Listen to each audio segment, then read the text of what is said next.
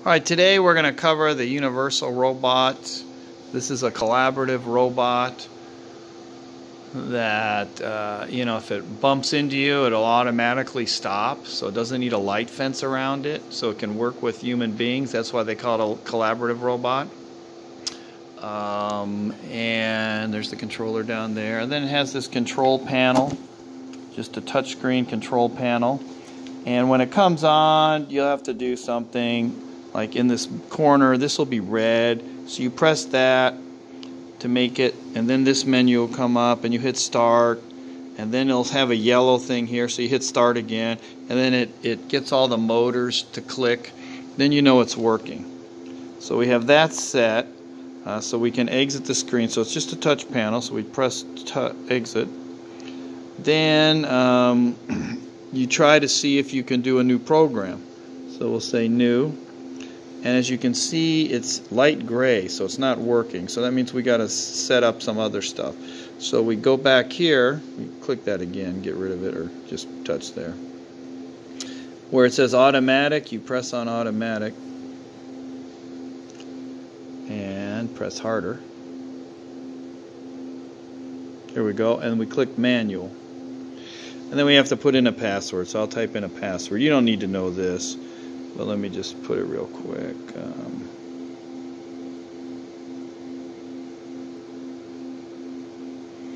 and then hit submit. Then you'll have access. Now, if we do our programs, we'll have access to it. But the other thing, too, is this has a special gripper on it uh, from Robotiq don't know if you can read that, that black gripper part, the part that grabs the actual part there. And so we have to turn that on, so because that's a special attachment. And that's this thing that says UR plus. So we press that, and then we say activate, and, it, and as you can see, it moved a little bit and opened up. And then to turn it off, you just press the the UR down there again, then it goes away. So this UR plus, you just hit that icon again and that gets rid of it. All right, so now we're ready to program. So we go new, then we go program, and then it starts up like that.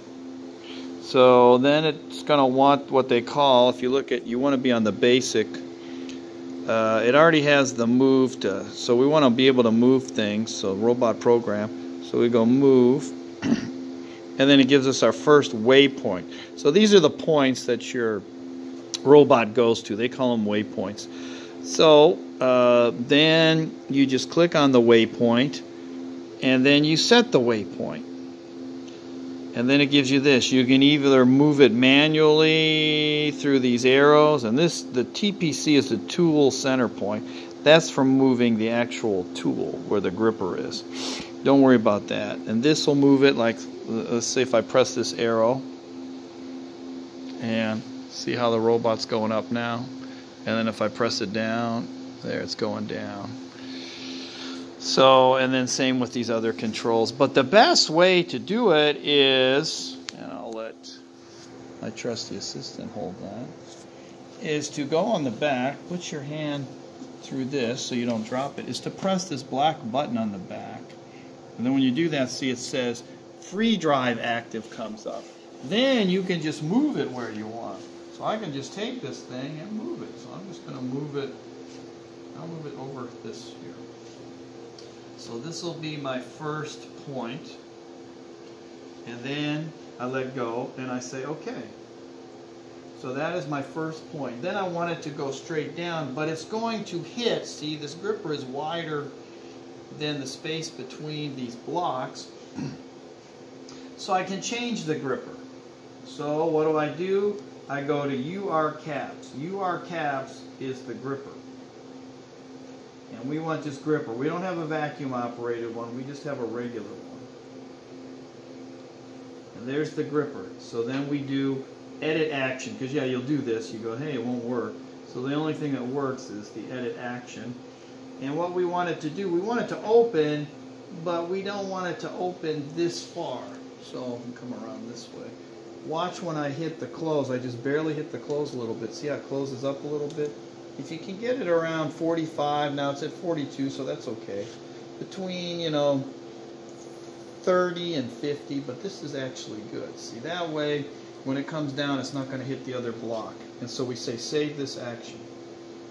So now that is part of the program. So you have your waypoint, it's above it. Is it focusing? Yeah. And then it says it's moving the gripper in 42%. All right, so now we're going to want uh, another waypoint. So we have to go back to our basic basic programming. So we're just going to have basic program. We're going to flip back to basic and the UR caps because that's the gripper. Now normally you could just do it with um, uh, inputs and outputs through set and that for the gripper, but this gripper is a full-blown extra special gripper and it has its own settings so we don't set it through inputs and outputs. Alright, so we have that set. Now we want to bring it down, so we need another waypoint. So we click waypoint and see how it lights up. Here's the other thing too, so I don't forget. When it's in yellow, that means the program will not run until you set these coordinates. So once your program's all done, if there's any yellow in it, that means you got to go back, click on it, and do whatever it tells you to over there. Now it's saying we need to set the waypoint, so we need to lower it. So we set the waypoint, and this we can just lower probably just doing it this way. See how it's going down? We don't actually have to push it down. That's probably good. Have it, you know, or maybe it's 3 eighths of an inch above the, the actual base. Alright, so then we say OK. Then we want to close the gripper.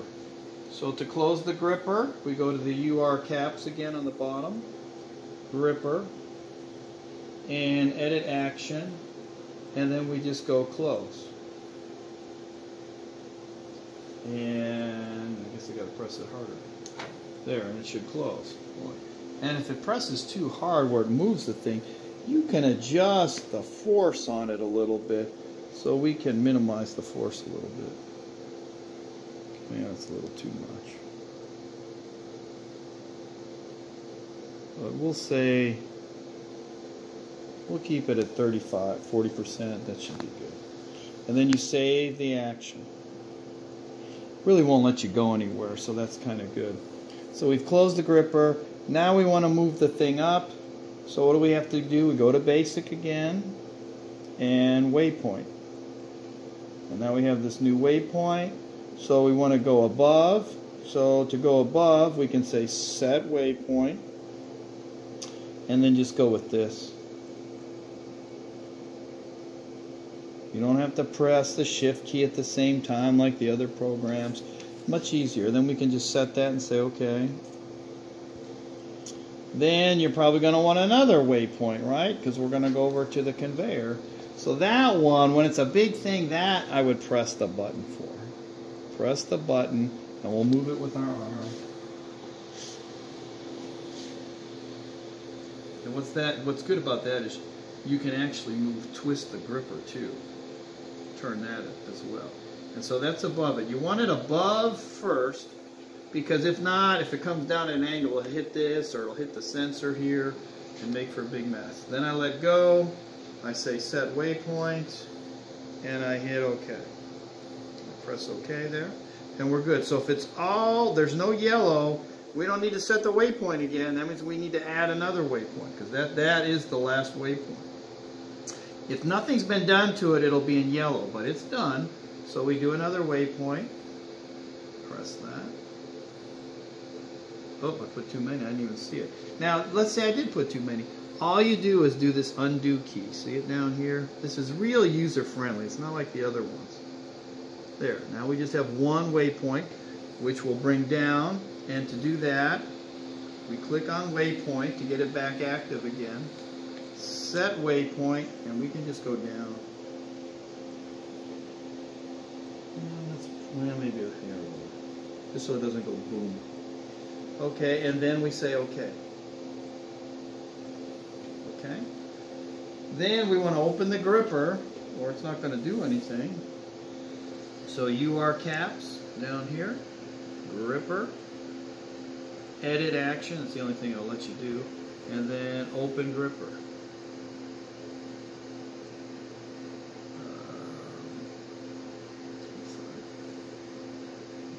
close. There we go.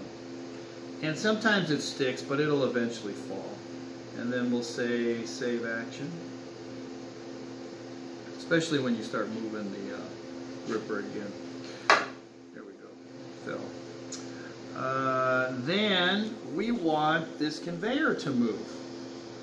So how do we get the conveyor to move?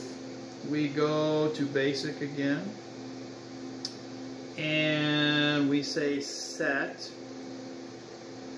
and we say set digital output. And then we click on the the down arrow key there and click on conveyor. That's already set up. And you want it on high. High means it'll turn on. So once it comes over here then the next thing it's going to do after it opens the gripper is the next command is to turn on the conveyor automatically. So it's set. Then we are going to want it uh, to run the conveyor and then turn off when the sensor picks it up, which is input 3s. So outputs, we use our set command here, and inputs, we use our wait command. So that would run, so you can test it by by running the thing, but yeah, we'll let it run. So I click this test button and it's going to keep running until I stop it. So that means I need to go to wait and then I'm going to go to wait for digital input and I'm going to put input 3, digital input 3 and I'm going to put that on high so when it sees it it'll turn off. Now it's not going to turn off yet, that's just saying You'll see if you come over here, you'll see there's a red dot on that. So that means the sensor is seeing it, the little laser red dot on this cube here. As you can see down there, that's saying it's seeing it.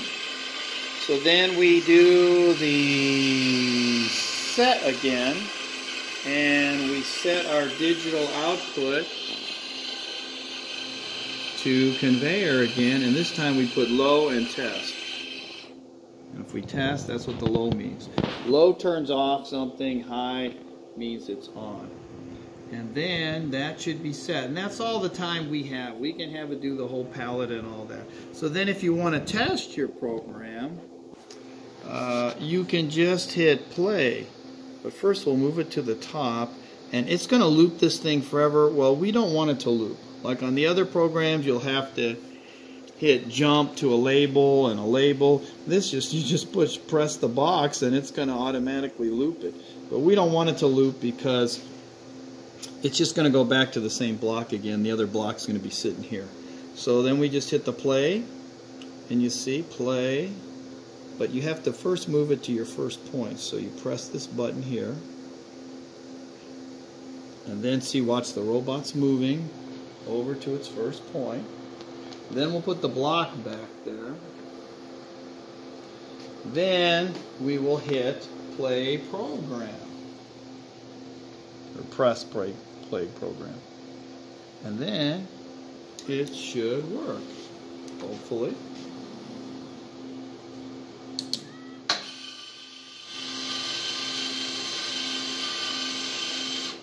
And that's how you write a program. And so your program should look like that. And that's it.